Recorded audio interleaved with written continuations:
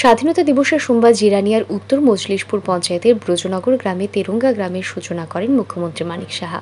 স্বাধীনতার অমৃত মহোৎসব উপলক্ষে এই গ্রামের বাড়িঘর সাজিয়ে তোলা হয়েছে স্বাধীনতার কাহিনী ও বিপ্লবী বীরদের ছবির মাধ্যমে। অনুষ্ঠানে অন্যান্যদের মধ্যে উপস্থিত ছিলেন তথ্যমন্ত্রী সুশান্ত চৌধুরী, প্রদেশ বিজেপির সাধারণ সম্পাদিকা পাপিয়া দত্ত এবং দলের সোশ্যাল মিডিয়া সেলের সেক্রেটারি অরিন্দম দত্ত সহ অন্যান্য প্রতিনিধিরা।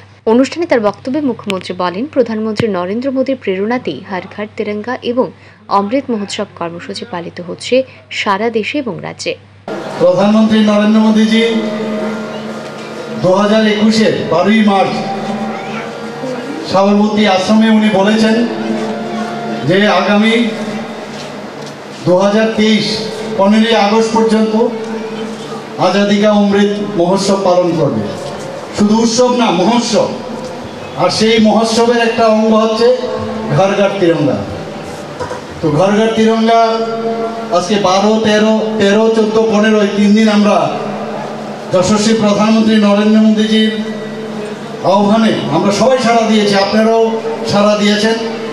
তারই অঙ্গ হিসাবে এখানে আমি যা দেখলাম এখানে আদর্শ আমাদের যে গ্রাম, আদর্শ গ্রাম, তিরঙ্গা গ্রাম, ওনারা সবাই সুন্দরভাবে ছবি এঁকেছেন। বিভিন্ন যারা আমাদের মহাপুরুষদের ছবি এঁকেছেন। আমি যারা, যাদের মাথার থেকে সেই বুদ্ধিটা এসছে, মস্তিষ্ক প্রসূত, তাদেরকে আমি ধন্যবাদ দেব। আমি ধন্যবাদ দেব আমাদের এই এলাকার মাননীয় বিধায়ক মন্ত্রী সুশান্ত চৌধুরী মহোদয়কে। অনুষ্ঠানে যোগ দিয়ে নিজস্ব আনন্দের কথা উল্লেখ করে মুখ্যমন্ত্রী যাদের ভাবনায় এই তেরঙ্গা গ্রাম সেজে উঠেছে, তাদের এবং তথ্যমন্ত্রী সুশান্ত চৌধুরী সহ সবাইকে ধন্যবাদ এবং শুভেচ্ছা জানান।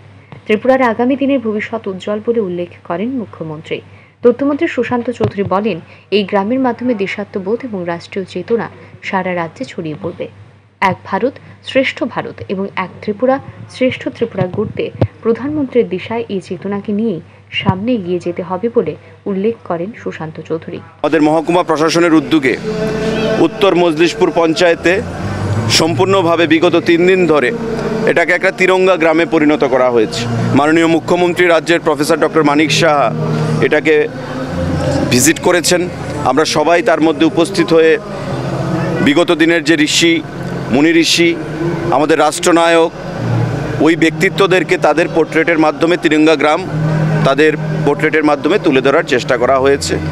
এবং আগামী দিনেও এভাবে তিরঙ্গা গ্রামের মাধ্যমে যে জাতীয়তাবোধ জাতীয় পতাকা আমাদের তিরঙ্গা এবং এই জাতীয়তা বোধে মানুষকে উদ্বুদ্ধ করে সুপ্ত যে দেশপ্রেম, সে দেশপ্রেমে মানুষকে উদ্বুদ্ধ করে আগামী দিনে এক ভারত, শ্রেষ্ঠ ভারত গড়া, এক ত্রিপুরা শ্রেষ্ঠ ত্রিপুরা গড়ার যে ডাক আমাদের প্রধানমন্ত্রী এবং আমাদের সরকার প্রদান করেছে, সেটাকেই বাস্তবে আমরা পরিলক্ষিত করছি এই তিরঙ্গা গ্রামের মাধ্যমে।